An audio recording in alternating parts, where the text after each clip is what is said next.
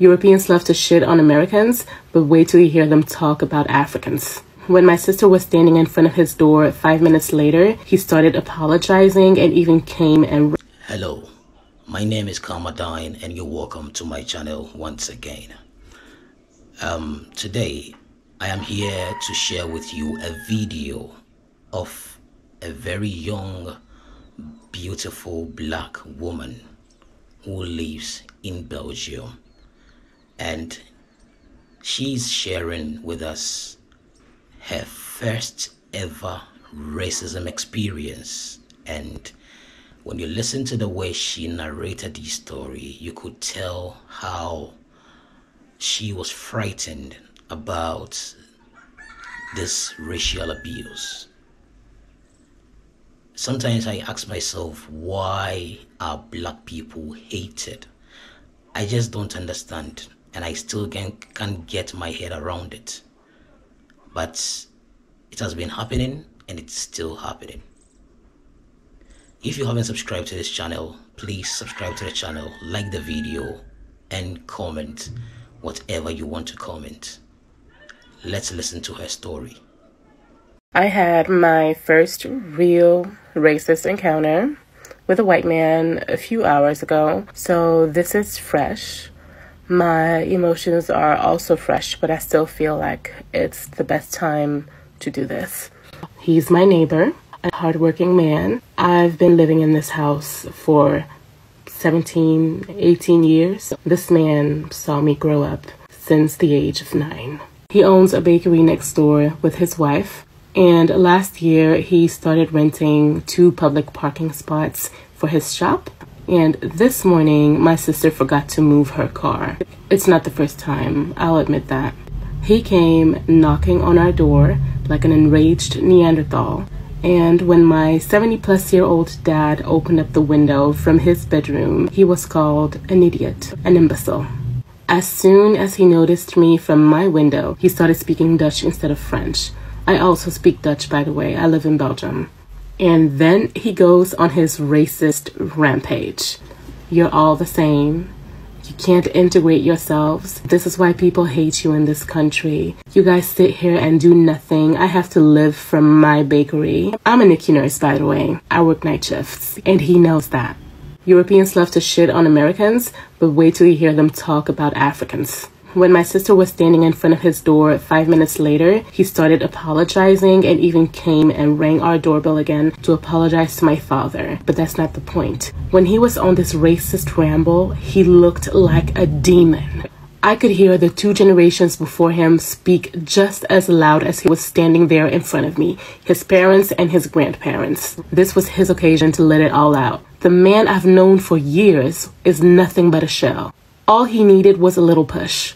My parents haven't birthed a single jobless child. All of us have higher education degrees and we're a football team of kids. Literally. Yet, to him, we're all doing nothing while he has lived the life of the most hardworking man in the world. I'm the youngest of my family. I'm 27. I speak French and Dutch fluently, both of Belgium's official languages. I'm a nurse. I take care of babies. But that didn't matter.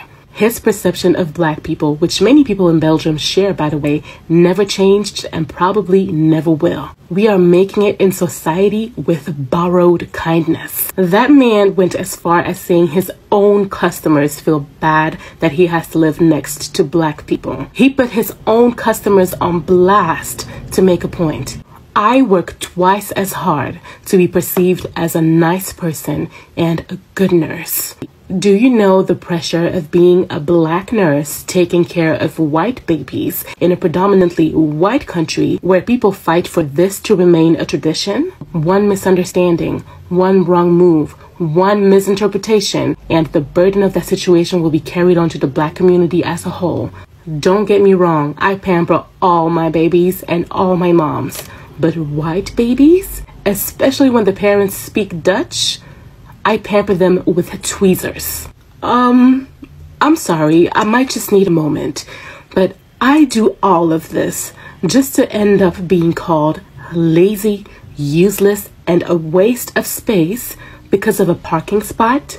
I have to be extra sweet, gentle, and kind everywhere I go. Otherwise, it'll be these black women aren't feminine, they're always angry. This is my daily life.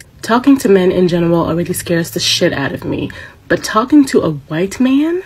What if he flips one day? If it's not him, who is it around him? How and by who was he raised? How were his friends raised? Who does his family vote for and why? What did they talk and joke about at family gatherings when I wasn't around yet? Don't worry, I know your fantastic, handsome, wonderful husband would never. But how do you take that leap of faith? My fear is real. I can't fathom the thought of being a minority in my own family, my own home, my own bedroom. What if he asks me for race play one day? Imagine being made uncomfortable at dinner around Christmas time and you're the only black person there. This sounds like my worst nightmare. I even turned down this adorable guy called Benjamin because what if I get stuck?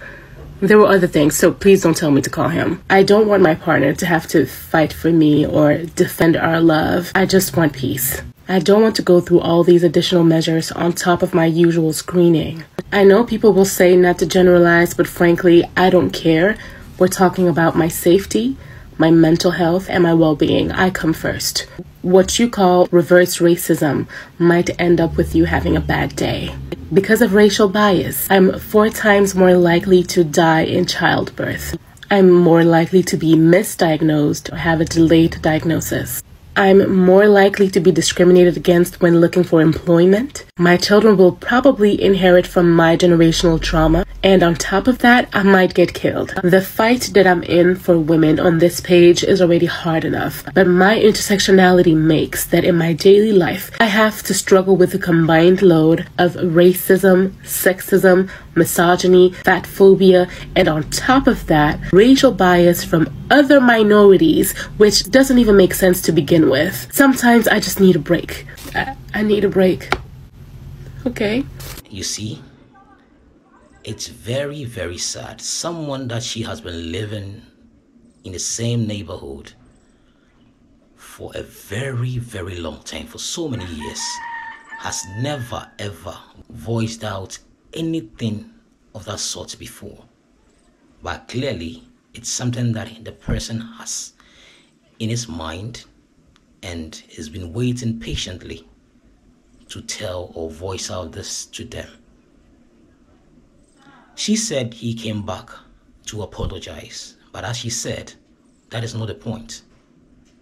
Definitely, if someone has that hatred for you within them, they are definitely going to say it one day or any day, like someday, definitely they are going to tell you. It's very sad. It's very, very sad. And as she said, they are not even jobless. Like all the kids, all the children of all, all, all her siblings are working. But still or yet, this man decided to call them like they are useless. Basically, that's what he's trying to say. I pray this thing end, and if it doesn't end, I hope and I pray Africa be stand on its feet, so that black people around the world will be proud to come from a place like Africa. I know even now so many of them are proud of Africa, but you know we want good governance. We need a lot of things to make Africa great. And I know one day that is going to happen. I thank you so much for watching this video. Don't forget to like, don't forget to subscribe. Thank you.